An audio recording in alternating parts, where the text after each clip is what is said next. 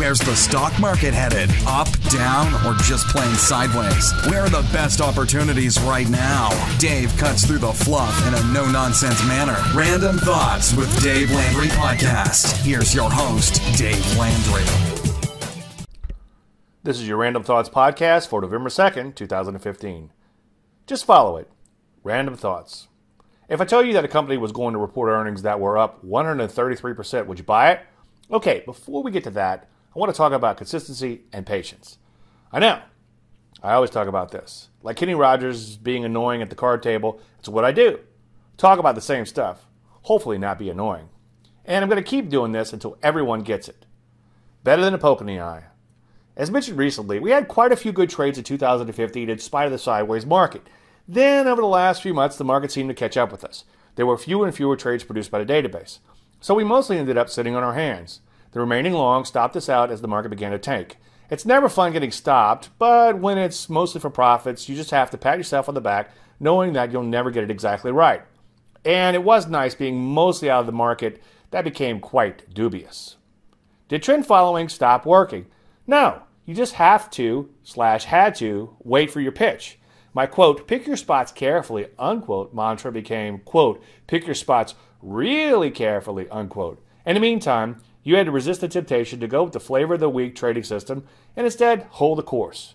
The siren call of system chasing and seeking action did have some leaving. That's okay. Most who go through the journey eventually come back and say, quote, okay, Big Dave, I get it. There's no holy grail, no secret sauce. Just keep it simple and follow along, unquote. Foresight in hindsight. I was talking business with one of my peers on Friday, someone who you might be meeting soon, BTW. He suggested that I do a delayed service. I told him that the idea crossed my mind, but I just never got around to it. This really got me thinking over the weekend. Instead of just picking a few educational examples here and there for columns, articles, and webinars, why not show you everything, warts and all? This way you can see the methodology in action and not think, yeah, right, when I walk you through a big winner. It's one thing to say that you can make 10 million in 10 minutes a day, an email I received recently, BTW, but it's another to actually show you it being grinded out. And no, you're not going to make 10 million in 10 minutes. Yes, there will be a few times where it appears that I'm pulling the rabbit out of the hat, but for the most part, again, it's just me grinding it out one day at a time. Don't confuse the issue with facts.com. Considering the above, here's a great learning example. Molina Healthcare, MOH, set up as a bow tie short. The stock triggered initially looked promising, but then began to bounce around. So what do you do? Well, nothing as long as your stop isn't hit. A lesson I preached. Earnings were due to be announced, something I only knew because I got an email from a client. So what do you do? Nothing. Follow the course. You have to pick a methodology, any viable methodology, and just follow it. Hmm, quote, just follow it, unquote. I like that. Let me grab that domain.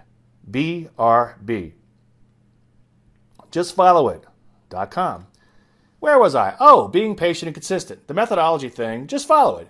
Find setups that you really like. Take them. Use a stop in case you're wrong. Take partial profits when you're right, just in case it's all you get. And trail a stop on the remainder when blessed with a big winner.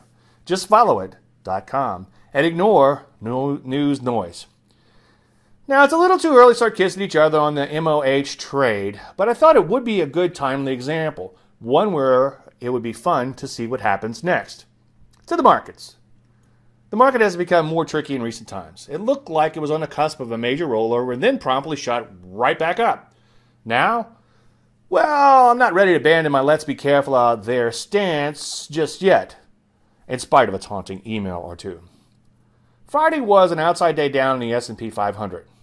This action has them stalling from an overbought condition right at resistance.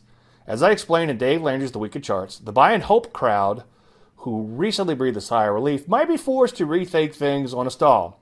There's nothing magical about what I do. I just seek to read the psychology of the market. In the sectors, there's not much new to report in the sectors. As you would imagine, like the market, many are stalling near their prior highs. This is actually producing a few interesting shorts.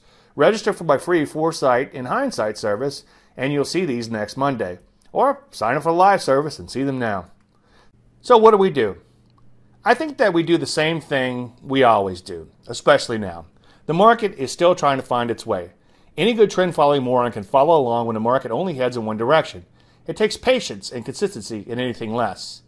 Based on the aforementioned gyrations, we're obviously in an anything less period.